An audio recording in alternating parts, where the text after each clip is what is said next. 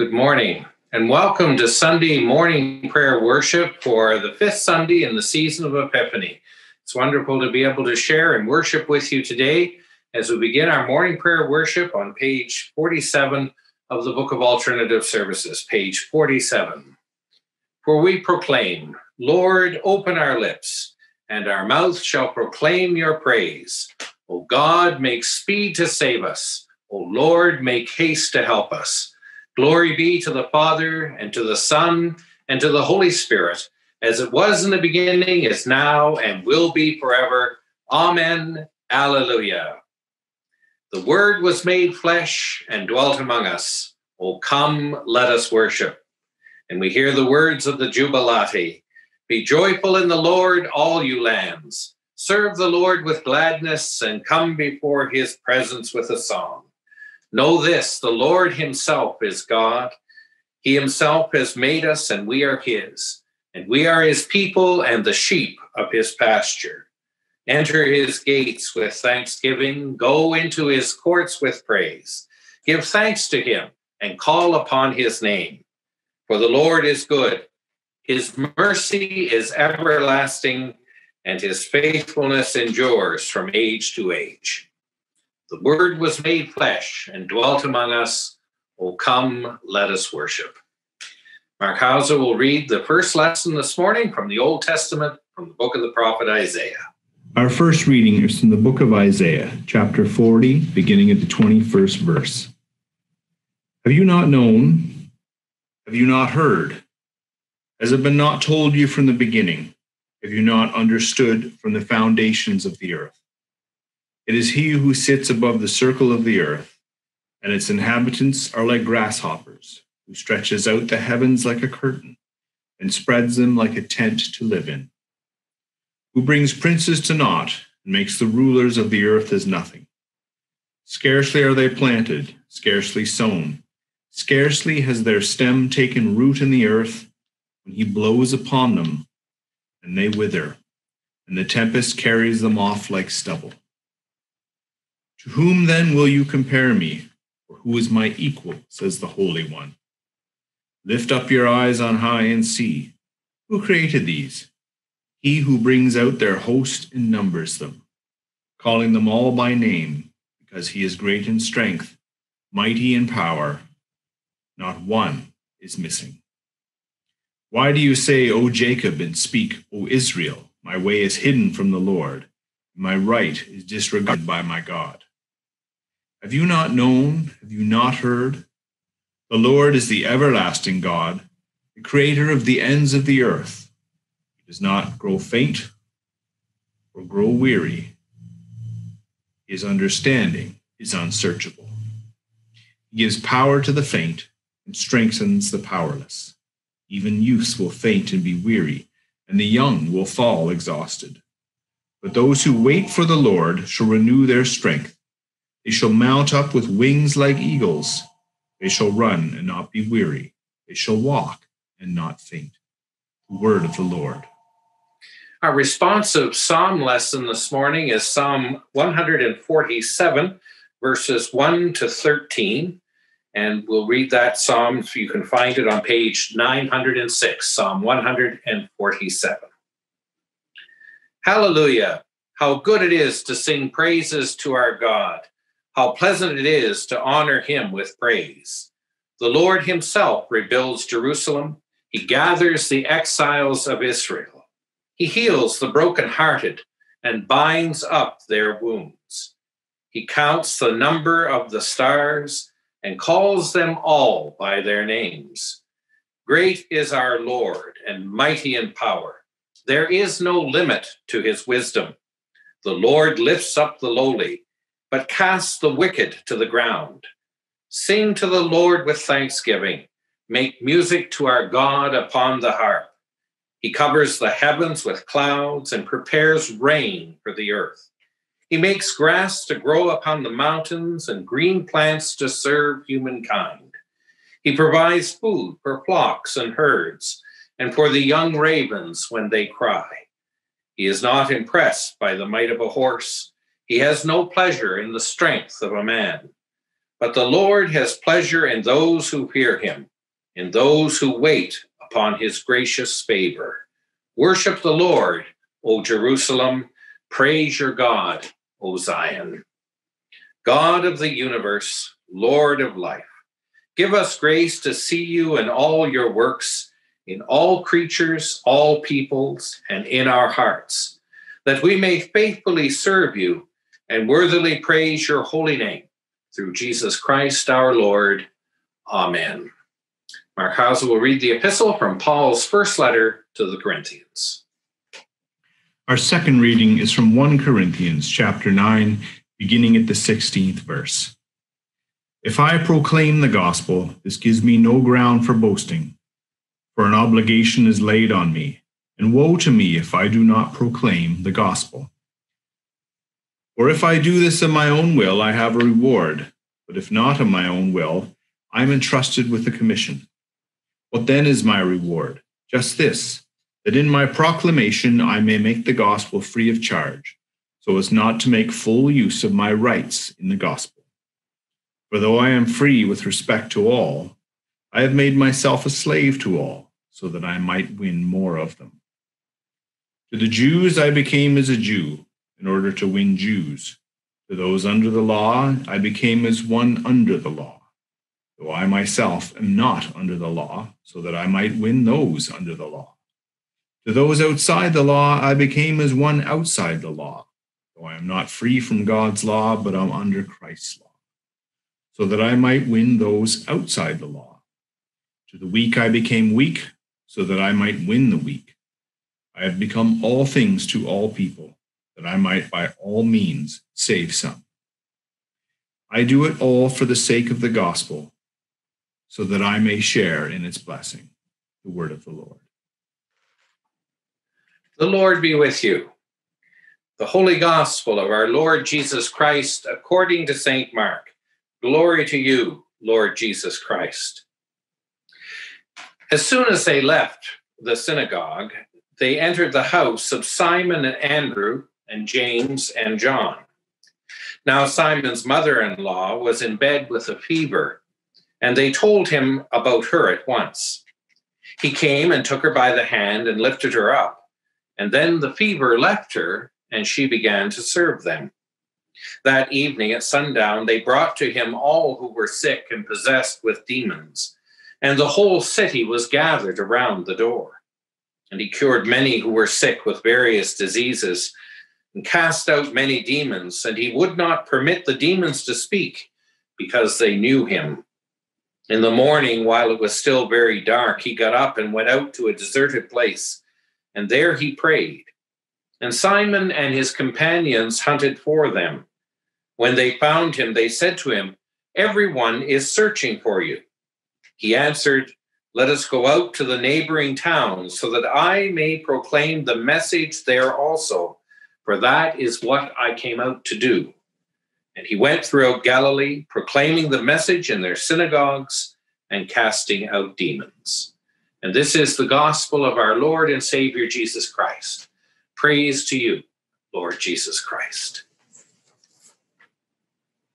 And now, Heavenly Father, may the words of my mouth and the meditation of all our hearts here assembled be always and ever acceptable in your sight, for you alone are our strength and our Redeemer. Amen. Well, we continue again to move through this wonderful season of Epiphany, this season that speaks to us of light and manifestation of hope, of understanding who Jesus Christ is. Who is this one who has come into the world? And what is the mission and ministry entrusted by him to us that is, that is embodied in his very being in the world? And we have followed through various themes across the previous four season, four Sundays of Epiphany. And we come to this day and trying to think of a phrase or a word that could encapsulate all that the theme of this particular Sunday is about. And for me, that one word is restoration. Jesus is the one who comes to restore.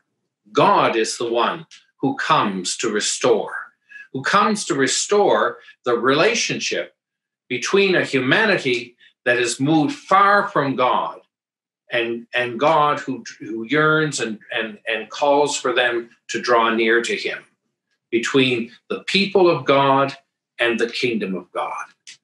God is the one who restores that relationship. Jesus is the one who restores that relationship for all humanity. And in all of the teaching and the proclamation that Jesus undertakes, it has that undergirding sense of restoration. We have that beautiful passage from the prophet Isaiah, Isaiah 40, which is uh, a wonderful, almost Easter proclamation. It is a message that is told out to a, a nation that is languishing in exile, a nation for whom the hope of their future had been clean cut off, carried away from the land of hope and promise, the land where they understood the presence of God to have carried them, and the, where the presence of God would dwell.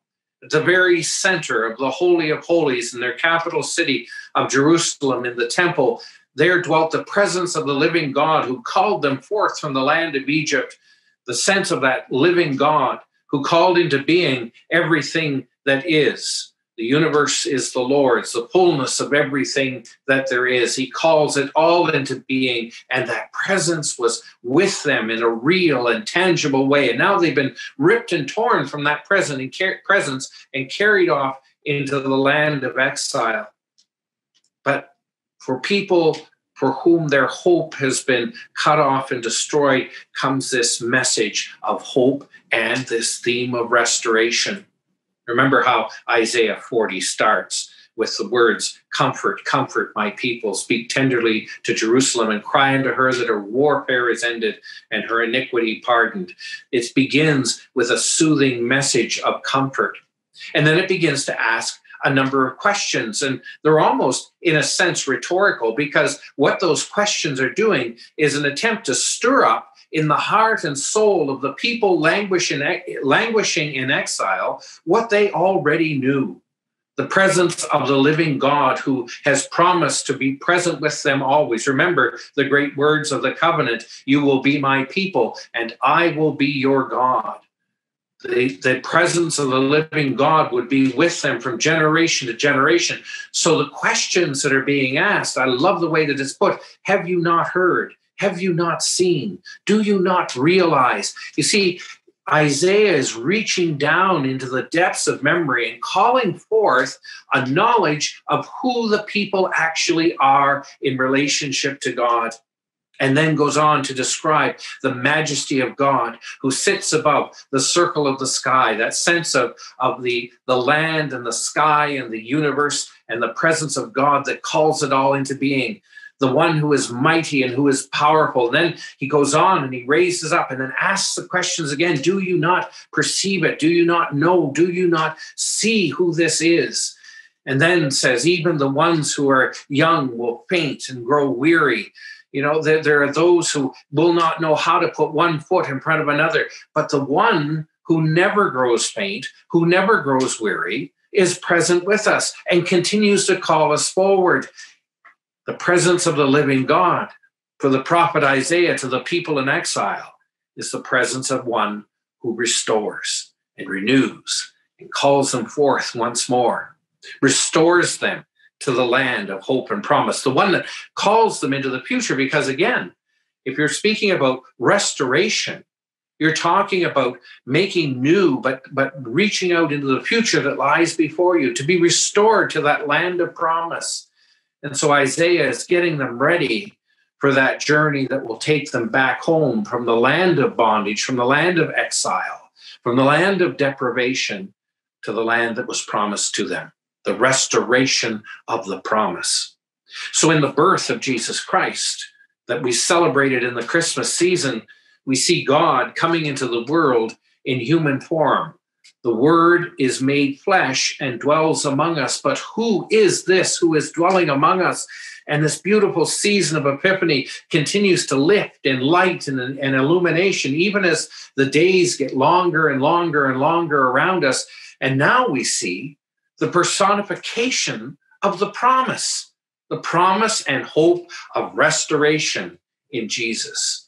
Then as as they, they we continue in mark's gospel to move through they leave the synagogue and they come to the house of andrew and simon. They're there with the disciples and their mother is is is ill. And there's again that wonderful image of restoration where jesus goes in and prays and peter's mother is restored. Andrew's mother is restored and she begins to serve. She begins to do the thing that is in her heart and soul when somebody comes under her roof to reach out and to care for and to serve. And it's that image of, of servanthood. For we indeed are being called to be servants of the living God. You see, the restoration that we're called to, to be restored and to made new again, calls us to that life of service. We are restored and we are called to be the ones who serve the world around us. And we see that in the presence of St. Paul as he's writing to the church in Corinth you know, the word that is given. You see again, now that we see that message that came from Isaiah comfort ye, comfort ye, my people, and to talk about the living God who is the one that restores their hope and restores their promise and carries them back to the land from which they have been torn. We see it in the person of Jesus Christ, who is that word made flesh and dwelling among us, the one who restores. And we see that in the powerful imagery because from that, Jesus moves forth from town to to town to town carrying that message. But it's not only a message of restoration, but in the actions that he does, that he heals, that he casts out that which separates us from God. He defeats even evil itself in that imagery of casting out the demons and having power over them, that they cannot control the lives of the people of God. He, the one who is the word made flesh restores and renews and calls us forth again and, and rescues us from that which would separate us from the love of God. It is the good news, the word uh, that, that came in the in the Hebrew scriptures, personified in Christ, but now calling us into the future. And that's where St. Paul is in the church in Corinth. He is now taking that word in the words of the gospel the good news of the commandments of Christ and the teachings of Christ, and now is carrying that out beyond beyond where Jesus moved and where Jesus taught out into the world where Paul planted those churches, and now teaching the Corinthian people about how to be the bearers of the good news. And I love how Paul describes it. You see, Paul goes to be not over, but among the people. And you see, I believe that the restored servants of God, when we've been restored to who we are as followers of Christ, strengthened by the Spirit to be servants in the world. Whoever wants to be first among you, remember that, must be a servant. And whoever wants to be the greatest among you must serve like a slave. We are called to serve one another and care for the world in which we are in. So, as Paul goes out, it's not to go out to be over the people, but to be among the people, to teach them and draw them together. And that's that beautiful imagery, as he's called at center and heart of it all, is proclaiming the good news of Jesus Christ. And he says to the Jews, I became as a Jew. To ones under the law, I became as one under the law to those outside of the law. I became as one outside of the law. But all through that, you see, when Paul is speaking to the Corinthians, he knows where his rudder is. He knows what, can, what is able to steer him through those times that he can go among the people, but understands that good news that he's called to proclaim. That's the rudder that carries him forward. He is subject to the law of Christ. He is one who lives a greater law that is now written not on tablets, not on paper. It's written in, in his heart and in his soul. He's called to proclaim that, to be among and with the people. I know the people that have been the greatest influences in my life have been the people that have not lorded it over others, that have not impressed by the power they can display and the might that they can display, the ones who have been the powerful exemplars in my life have been the ones whose very lives are examples of perfect servanthood, who reached out in love for the world to care for one another, reached out with a message of hope, reached out in a, in a kind of a depth of care and compassion that is, is magnetic and draws you toward them. You want to hear more about what moves them forward in their lives. And that's who we are called to be as the restored people of God. We are to be the bearers of this good news that does not come to seek to dominate and to lord over, but seeks to come among the people and lovingly and caringly call us back into that restored relationship with God.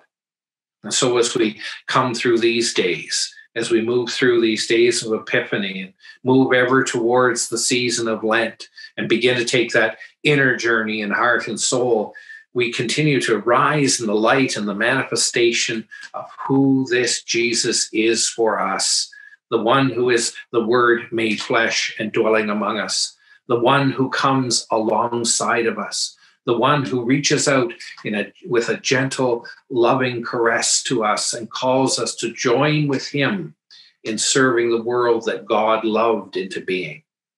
So this day, feel that sense of restoration in your soul as you worship and praise the living God this day, and then go forward to serve. Seek the ones out that you wish to serve.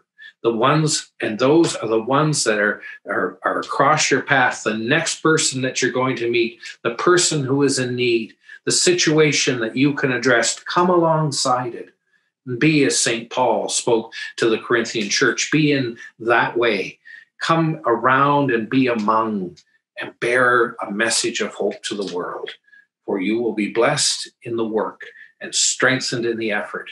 And there may be times where you feel weak, where you feel faint, but draw strength from, as Isaiah says, this living God who calls us to mount up with wings as eagles, to run and not be weary, to walk and not faint. Thanks be to God. Amen. Let us join together as we affirm our faith in the words of the Apostles' Creed on page 52 where we proclaim, I believe in God, the Father Almighty, creator of heaven and earth. I believe in Jesus Christ, his only Son, our Lord. He was conceived by the power of the Holy Spirit and born of the Virgin Mary. He suffered under Pontius Pilate, was crucified, died, and was buried. He descended to the dead. On the third day, he rose again. He ascended into heaven and is seated at the right hand of the Father. He will come again to judge the living and the dead. I believe in the Holy Spirit, the Holy Catholic Church, the communion of saints, the forgiveness of sins, the resurrection of the body, and the life everlasting. Amen. Let us pray.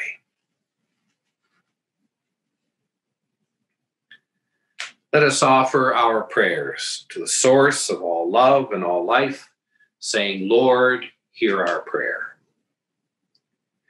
Merciful God, we pray for all who call themselves Christians, that we may become a royal priesthood, a holy nation, to the praise of Jesus Christ, our Savior. Lord, hear our prayer. We pray for Justin, Archbishop of Canterbury, for Linda, our primate, for Anne, our metropolitan, for all bishops and other ministers that they may remain faithful to their calling and rightly proclaim the word of truth. Lord, hear our prayer. We pray for Elizabeth, our Queen, for the leaders of the nations, and for all in authority, remembering especially Justin, our Prime Minister, Douglas, our Premier, the mayors and reeves of the municipalities from which we come, that your people may lead quiet and peaceable lives. Lord, hear our prayer. We pray for the cities and towns and villages where we live, for all who live there with us, for the poor and the rich, the elderly and the young, men and women, that you will show your goodwill to all. Lord, hear our prayer. We pray for the victims of our society and those who minister to them, that you will be their help and their defense. Lord, hear our prayer. We pray for those preparing for baptism, that they may be strengthened in the faith. Lord, hear our prayer.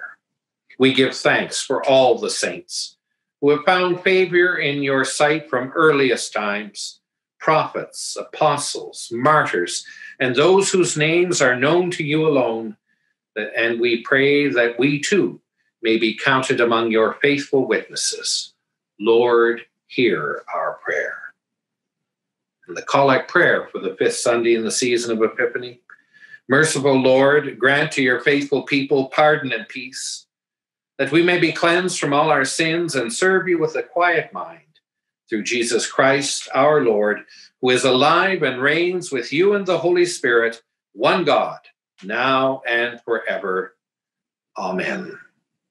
And now, as our Savior Christ has taught and commanded us, we are bold to say, Our Father, who art in heaven, hallowed be thy name. Thy kingdom come, thy will be done on earth as it is in heaven. Give us this day our daily bread, and forgive us our trespasses as we forgive those who trespass against us. And lead us not into temptation, but deliver us from evil. For thine is the kingdom, the power, and the glory, forever and ever. Amen. Go in peace. Remember the poor. Be kindly affectioned one towards another in brotherly and sisterly love. And the blessing of God Almighty, the Father, the Son, and the Holy Spirit be among you and remain with you always. Amen. Let us go in peace to love and serve the Lord. Thanks be to God. May God's richest blessings be with you through this week. It's wonderful to have an opportunity to pause and to join together with you in prayer through this through this forum, and I look forward to being with you again next week when we gather for Sunday morning prayer worship. Blessings.